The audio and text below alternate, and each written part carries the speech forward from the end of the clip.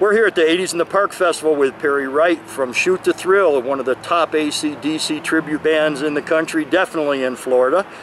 Perry, thanks for taking the time to uh, interview with us.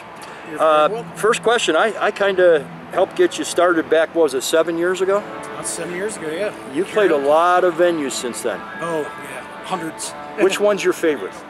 El Paso, Texas, Speaking Rock. They Okay. fly us out, treat us like real rock stars.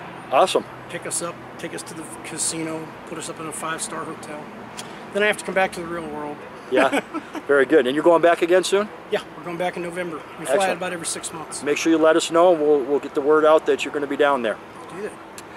Living or dead, if you could jam with anybody, and I think I know the answer to this, who would it be? It'd probably be ACDC. Okay, that makes sense. Um, you get a knock on your door, and it's a singer, and he's going to sing one song for you personally, a private concert. Who is the singer, and what is the song? Oh man, I, that's that's too tough of a question because it depends on the mood. They get harder. I haven't. They get harder. we should have had a pre-interview first. Um, I really don't know. I'm blank. Okay. There's so many good songs. All right, well, this one's a little harder. If your entire music collection got wiped out, which album would you replace first?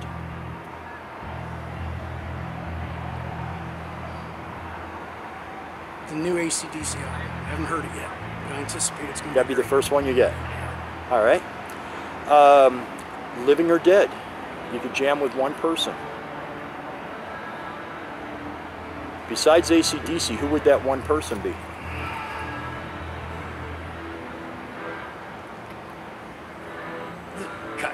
I can't do this. I can't do- I don't see. I don't jam. I'm only a karaoke singer, as you know.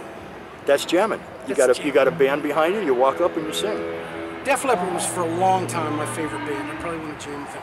Okay, there you go. Um, singer wants to start a career singing. Young guy. What advice would you give him?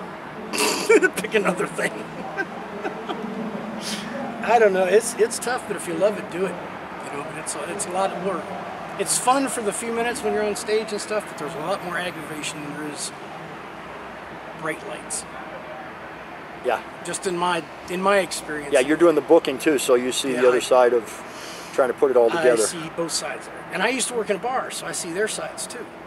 I see where theirs is brought the profit margin, and you know, it's, it's a tough world out there. When you Yes, got so is. many bands, it's like it's not like in, in the old days there were a few bands. Now there's hundreds of bands. There you go. County. Now, most of the guys in your band are, are roughly in our age group, except for your guitar player who just turned 21. Just turned How'd you find him?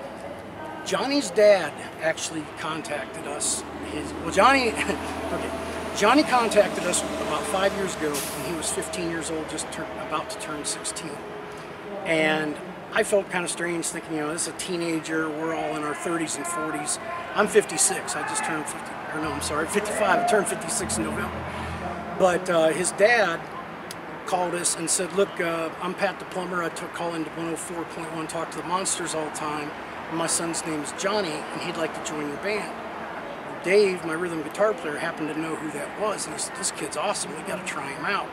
We tried him out, and uh, in the audition, he did the Angus kick all over the place and stuff, and we hired him on the spot. And we actually had a fire bass player because the bass player we had at the time said he wouldn't be in a band with a juvenile. So we said, sorry, kid's too good. Johnny's been with us ever since.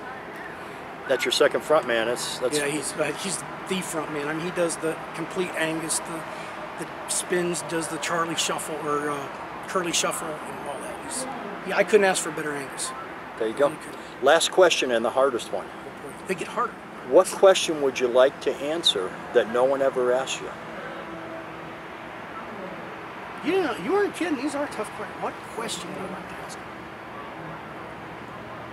How it felt to hit the lottery. Did you hit it? No, you said it has to be the question nobody would ever ask me. that was good. That was good. Is there anything I can think of? Thanks for putting me on. I sweated doing this interview. I got a little nervous. That's how it's supposed to be. It's for the fans and it's natural and It is. no this editing. Was, this was definitely candid, believe me. Yeah. Well, it was a great show, and uh, we'll have some great pictures for you. And we certainly thank you for taking the time to interview with us. Well, thank you much. You're Look us up at Shoot to Thrill on Facebook. We wish you the best.